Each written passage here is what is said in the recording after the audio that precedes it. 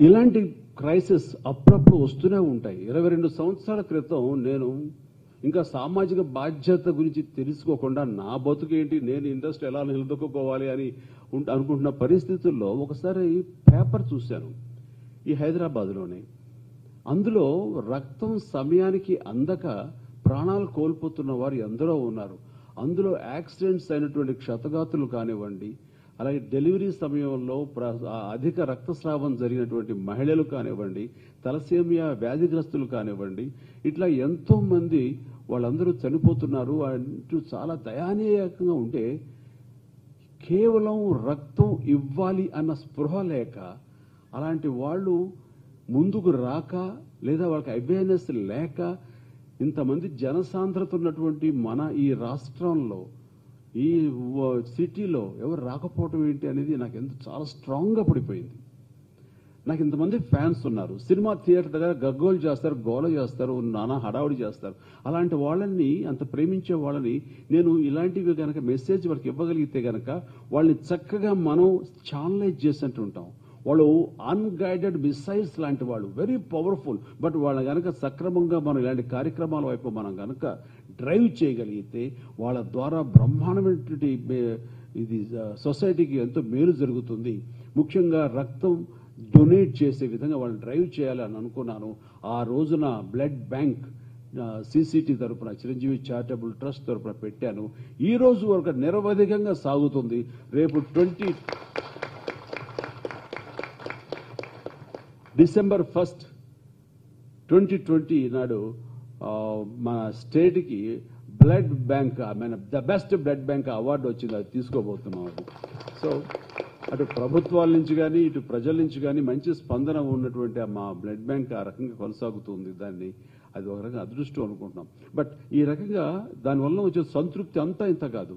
ఈ రోజున ఈ కరోనా బారిన పడి ఎంతో మంది ఈ వ్యాధిగ్రస్తులు అవుతున్నారు. అండ్ అయోమయ పరిస్థితిలో ఉంది. ఎక్కడ మందు లేదు. మందు ఎప్పుడు వస్తుందో తెలియదు వ్యాక్సిన్. ఈ పరిస్థితిలో ఏమిటి? వస్తే గనక మన స్వశక్తితోటి మనకున్న రోగ నిరోధక శక్తితోటి మనం ఓవర్కమ్ అవ్వాలి తప్ప అలాంటి శక్తి లేనిటువంటి అశక్తులు ఇక ప్రాణాలు పోగొట్టుకొస్తున్నారా అనేటటువంటి పరిస్థితుల్లో ఇంకా మందు రాని పరిస్థితుల్లో ఏమిటి దారి అనుకుంటే అయోమయ పరిస్థితిలో నిజంగా ఆ భగవంతుడు మిమ్మల్ని మీరు కాపాడుకునే శక్తి మీలోనే ఉంది. మీరే కాపాడగలరు అని మనకి స్ఫురణకు తెచ్చాడు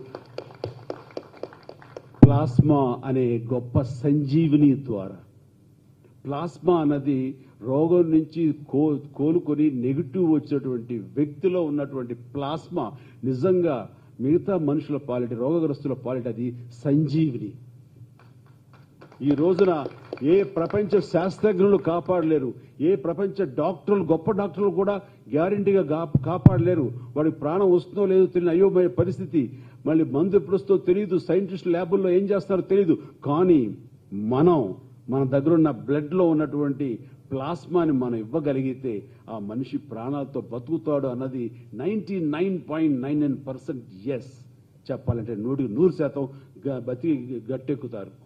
దానికి ఉదాహరణ నిన్న మొన్న రాత్రి పవన్ కుమార్ అనే వ్యక్తి మా దూరంగా తెలిసిన బంధువుల కుర్రవాడు అపోలో హాస్పిటల్లో జాయిన్ అవ్వాల్సిన పరిస్థితి ఉంది. ఇంట్లో క్వారంటైన్లో తీసుకుంటున్నాడు ఆక్సిజన్ కూడా పెట్టుకుంటున్నాడు. కానీ సాచురేషన్ ఎయిటీ ఫోర్కి వచ్చేసింది. నైన్టీ ఫైవ్ నైన్టీ సిక్స్ ఉండాల్సింది ఎయిటీ ఫోర్ అయినసరికి అతను ఊపిరి తీసుకోలేకపోతున్నాడు.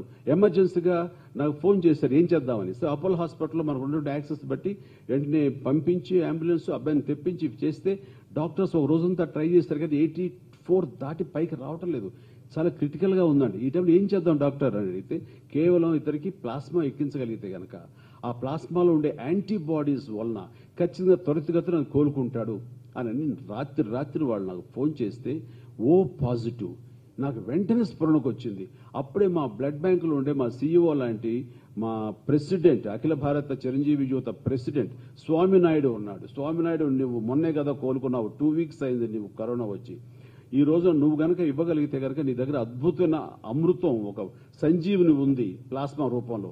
నువ్వు వెళ్ళి వెంటనే ఇవ్వు అని అంటే గనక నిన్న రాత్రి వెళ్ళి తను ఇచ్చాడు ఈ రోజు పగలు ఇంతవరకు నేను మానిటర్ చేస్తాను అతడు చాలా ఫాస్ట్గా కోలుకుంటున్నాడు. ఇప్పుడు నైన్టీ సిక్స్ వచ్చింది. ఆ ఇచ్చినటువంటి స్వామినాడు ఇదిగో ఇక్కడే ఉన్నాడు. నువ్వు కూడా రావయ్యా చూడాలి ప్రాక్టికల్గా అండ్ ఇలాగా వెంటనే ప్రాణాలను కాపాడే గొప్ప శక్తి ఆ భగవంతుడు మన చేతిలోనే పెట్టాడు. అయితే మనకు అది తెలిసి రావాలి. మనం మోటివేట్ కావాలి. మనకు చెప్పేవాళ్ళు కావాలి.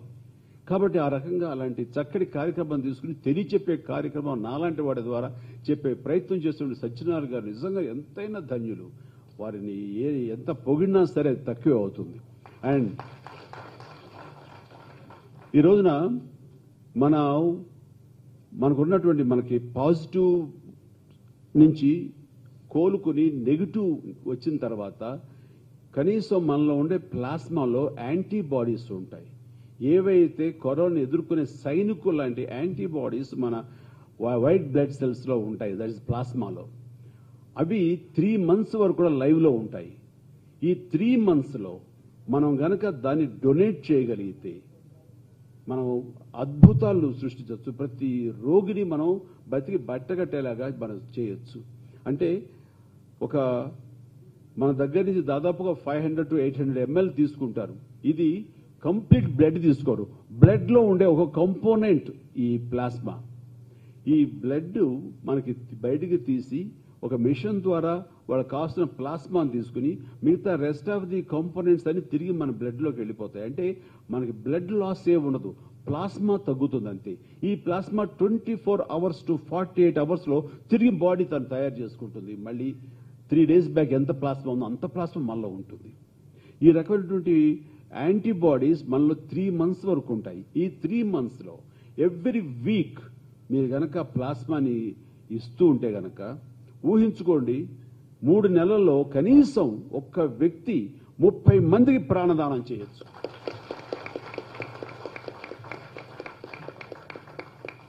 ఎవ్రీ త్రీ ఫోర్ డేస్ వెళ్ళొచ్చు. కష్టం అనుకోండి ఎవ్రీ వీక్ వెళ్ళండి. ఈ మూడు నెలల్లో ఉంటుంది. మేబీ మూడో నెలల్లో కొంచెం బలహీనపడి తగ్గచ్చేవో. అదే డాక్టర్లు చెప్తారు దాన్ని బట్టి మీరు ఇవ్వాలా ఇవ్వకూడదని లాస్ట్ ఫేజ్లో మనం డెసిషన్ తీసుకోవచ్చు. అంటే మనకి లక్షల్లో ఇన్ఫెక్ట్ అవుతున్నారు వేలల్లో రికవరీ అవుతున్నారు. ఈ వేలల్లో రికవరీ అయిన వాళ్ళు కనుక తలుచుకుంటే into thirty times into twenty times అసలు ఎక్కడ ఉంటారండి పేషెంట్స్? అందరు రికవర్ అయిపోతారు.